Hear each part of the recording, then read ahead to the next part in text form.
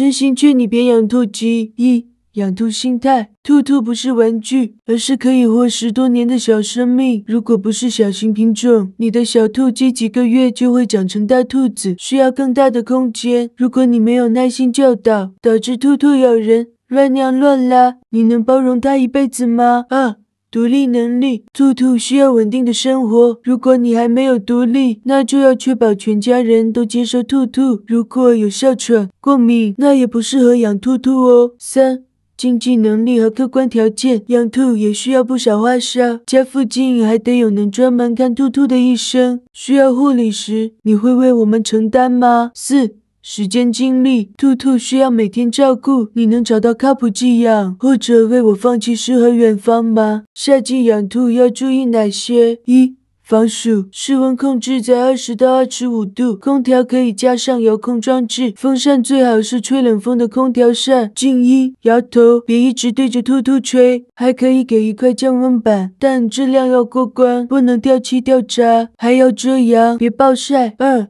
保证饮水量，一千克的兔子，二十四小时至少喝一百毫升。三，别剃毛，长毛品种可以修剪，但不能剃秃，卷毛更是一点都不可以剪。四，防蚊，关键是勤打扫厕所，保持环境干净，可以用蚊帐，但别用蚊香等含各种避蚊纸的东西。准备好这些，就可以过个愉快的夏天了。兔兔喝水注意什么？一。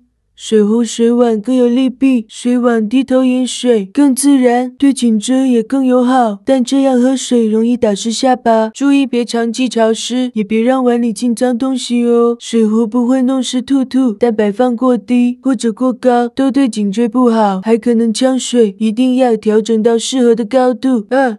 不会用滚珠水壶怎么办？首先，确保水壶能顺利出水，但不能漏水。有的水壶有两个滚珠，可以卸下一颗，方便兔兔喝到水。当兔兔的面引导触碰，甚至在滚珠上抹点蔬菜汁，碰到滚珠出水，兔兔就明白了。三。不爱喝水怎么办？水壶、水碗都用上，经常换新鲜的水，加一点点蔬菜汁，但这只是引导，要慢慢减少过度，不能长期添加哦。祝兔妈们节日快乐！谢谢你接我回家，把我从巴掌大养成大小伙，给了我一个温暖的家。谢谢你为我学习怎么去养一个小生命，让我一直健康快乐。谢谢你尊重我的习性和喜好，在我需要的时候陪我玩耍，不需要时给我。我足够的空间，谢谢你爱我。购物车里的东西全都变成我的，出差会想我，就连睡衣都是爱我的图案。谢谢你，我也爱你哟。今天我一岁了，妈妈给我弹了生日歌，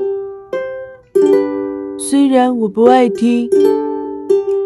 但还是耐心听完了，思考了一下长大的意义，还拍了一组帅帅的照片，看着蛋糕，吃着兔粮，不亦乐乎。还见了我的妹妹，她已经成了三只小兔的妈妈，当大舅可真开心。妈妈种的胡萝卜缨子也发芽了，真高兴呀！但我最开心的还是拥有了一群可爱的真诚粉，感谢你们的支持和陪伴，我一定会继续努力，好好吃草，